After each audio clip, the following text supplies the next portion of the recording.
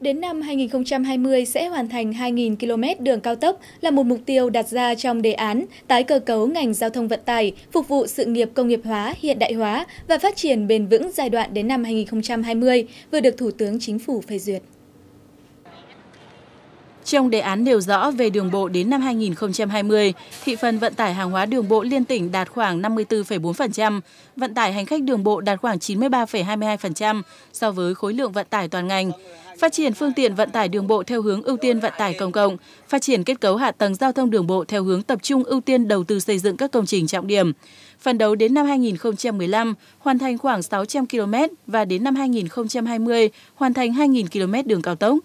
đầu tư nâng cấp và mở rộng quốc lộ 1A từ Hà Nội đến Cần Thơ, hoàn thành trước năm 2016. Về đường sắt, đáng chú ý sẽ có đường sắt nối các tỉnh Tây Nguyên với cảng biển, đường sắt kết nối xuyên Á,